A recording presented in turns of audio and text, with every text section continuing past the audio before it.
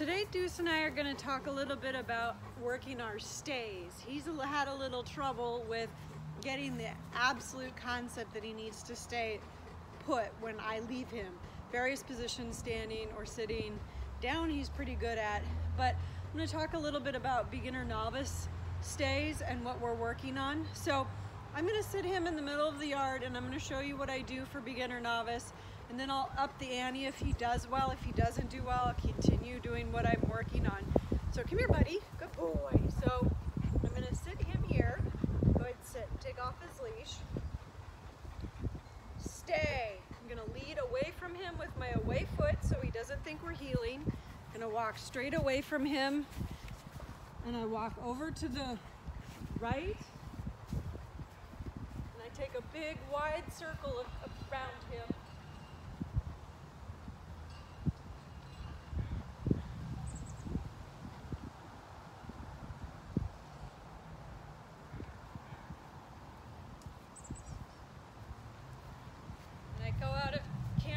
Shot and I'm going to come right back and walk straight to him. He's done really good. Good stay. Good stay. Stay. I don't release him quite yet because I'm trying to proof him. Back to heel position. Good stay.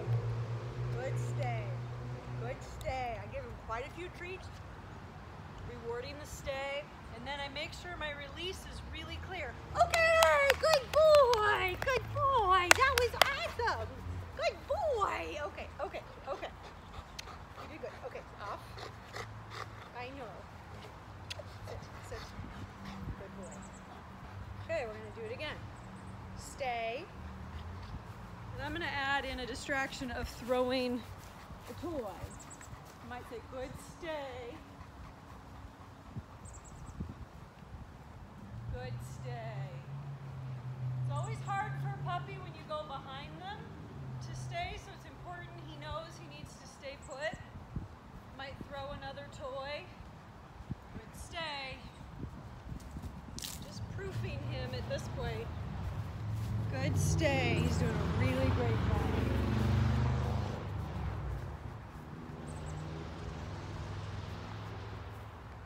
So I'm testing that stay for when I come to return. I don't want him to break.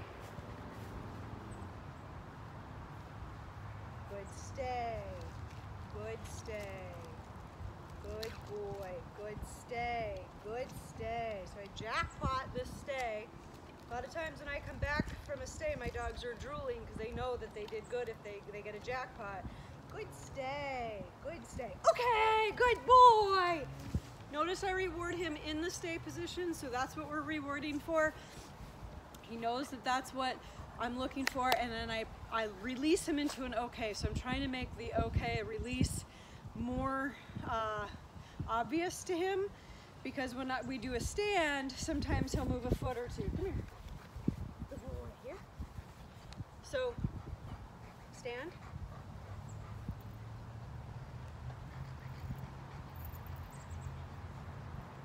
Stay.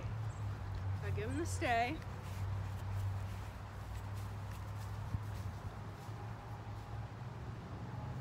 Do a really thorough exam so he's used to it. Good stay.